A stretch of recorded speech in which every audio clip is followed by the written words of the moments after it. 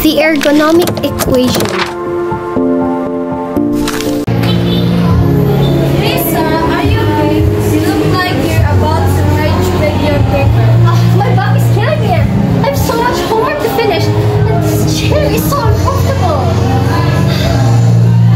Mr. Howard, the teacher, overhears their conversation and walks over. Oh, Mr. Howard, it's just this chair and this desk. They're so uncomfortable. I can't even concentrate on my work. And my back hurts. It is not just Sarah. We all have sit like this and it is not good for our back or neck. neck. I see what you mean. Your comfort and health are important. Let me take a look at your... Mr. Howard examines Sarah's desk and chair.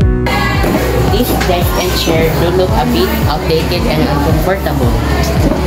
Important to have an ergonomic workspace to prevent this issue. sir? Ergonomic Sarah is about designing a workspace to fit the needs of the people, using it to increase efficiency and comfort while reducing the risk of injury. Let me show you. Mr. Howard adjusts Sarah's chair to the right height and angle and arranges her paper and books in a more comfortable position.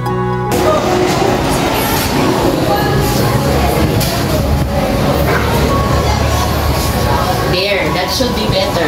And remember, it's essential to take breaks and stretch during your study.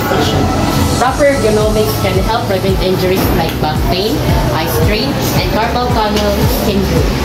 Thanks, Mr. Howard. This feels so much better already. Yeah, we should all pay more attention to ergonomics. It's like math problem for our bodies. Yeah. Estimating is all about finding the right equation for your comfort and well-being. If any, if any of you have concerns with this in the future, don't hesitate to speak. The scene ends with Sarah and Emily continuing their studies in a more comfortable and ergonomic setup, and Mr. Howard walking away satisfied that he helped improve the situation.